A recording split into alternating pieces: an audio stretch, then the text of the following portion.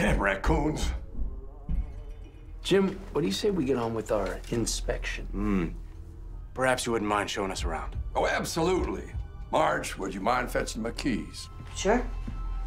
Now, listen, before you go, you fellas have got to get a piece of Marge's cake. She makes it with sour cream. Tastes like a warm Sunday morning. It's one hell of a big raccoon. Maybe we should start upstairs. Oh, well, just wait a lick for the keys. Margie Pie, that was quick. Sam, put down the...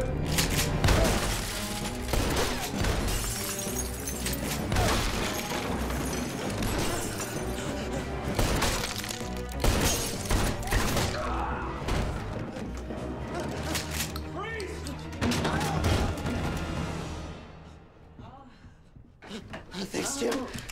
You saved my life. Watch them. Uh,